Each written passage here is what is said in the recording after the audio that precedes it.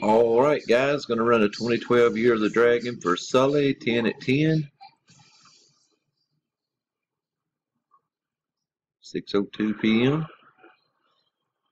We are live at 6.02. Here's our list.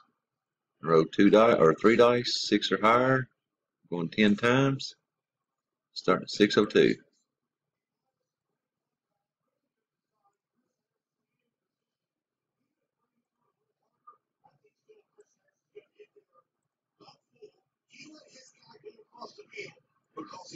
After nine, Luke's on top and bottom, 602. Good luck at 602.